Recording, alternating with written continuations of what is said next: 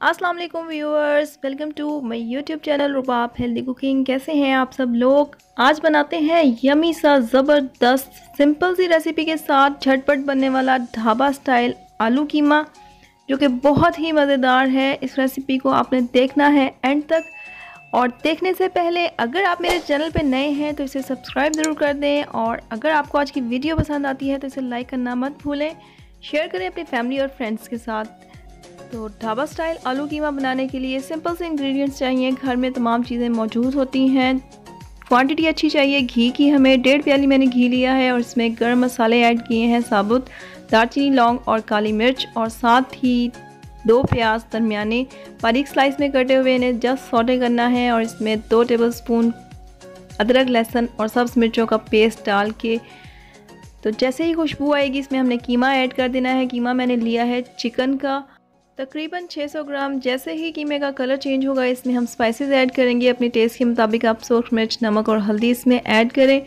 और जैसे ही कीमा अपना पानी छोड़ेगा, इसमें हम ऐड कर देंगे दो टमाटर। टमाटरों की क्वांटिटी इसमें आपने ज़्यादा रखनी है, दो दरमियाने टमाटर। और इसके साथ मैंने इसमें काली मिर्च ऐड की है, एक टीस्पून और धनिया ज़ीरा का पाउडर जिससे इसका बहुत ही ज़बरदस्त फ्लेवर आता है तो 10 से पंद्रह मिनट तक हम इसे कवर करके कुक करेंगे और जैसे ही टमाटर गल जाएँगे मैश कर लेने हैं तो कीमा तकरीबन हमने भून लिया है। इसमें इस स्टेज पे मैं ऐड कर रही हूँ बिरयानी मसाला और अचार गोश मसाला, जो कि इस रेसिपी का सीक्रेट है।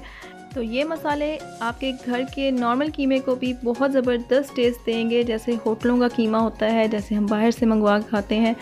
और जैसे ही इसमें मसाले में खुशबू आने लगे तो मैंने इसमें तो पहले आलू ऐड किए हैं और दो मिनट कुक करने के बाद, क्योंकि आलू थोड़ा सा टाइम लेते हैं गलने के लिए, इसके बाद शिमला मिर्च ऐड की है मैंने, क्योंकि कीमा और शिमला मिर्च का कॉम्बिनेशन बहुत ज़बरदस्त होता है, बड़ी ही ज़बरदस्त खुशबू आती है। कीमा पका हो और इसमें शिमला मिर्च हो तो क्या ही बात है। तो कीमा और शिमला मिर्च और आलू हमारे तैयार हो चुके हैं। गार्निशिंग करेंगे हम इसकी अदरक, सब्ज़ धनिया और सब्ज़ मिर्चों के साथ और इसमें ऐड करेंगे गरम मसाला का पाउडर एक टीस्पून तो ज़बरदस्त सा हमारा ढाबा स्टाइल आलू कीमा और या शिमला मिर्च आलू कीमा आप कहें तो तैयार हो चुका है। बगैर वेट किए इसे सर्व कर, गर्मा गर्म रोटी के साथ या नान के साथ। होप आप लोगों को आज की वीडियो और रेसिपी पसंद आई होगी तो लाइक करें शेयर करें और सब्सक्राइब करें मेरे चैनल को। बेल आइकन को ज़रूर प्रेस करें। थैंक्स फॉर वॉचिंग अपना बहुत ख्याल रखें। अल्लाह हाफिज़।